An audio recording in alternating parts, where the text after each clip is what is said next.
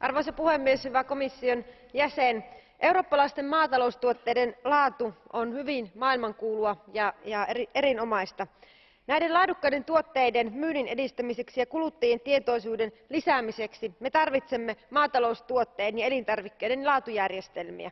Olen erittäin tyytyväinen kollega Garcia Perezin mietintöön. Olette saaneet aikaan erinomaisen neuvottelutuloksen. Olen myös hyvin iloinen siitä, että mietintö velvoittaa nyt komissiota esittämään kertomuksen parlamentille ja neuvostolle uudesta paikallisviljelyn ja suoramyynnin merkintäjärjestelmästä.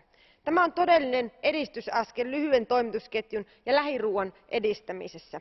Viljelijöille annetaan nyt todellinen mahdollisuus hankkia tuotteilleen lisäarvoa uusien merkintöjen avulla meidän on kuitenkin huolehdittava että uudesta merkintäjärjestelmästä tulee sopiva kaikille jäsenvaltioille. liian tiukat rajoitukset eivät edistä tätä hyvää asiaa. järjestelmässä on otettava huomioon muun muassa harva asutus ja pitkät välimatkat osassa jäsenvaltioitamme.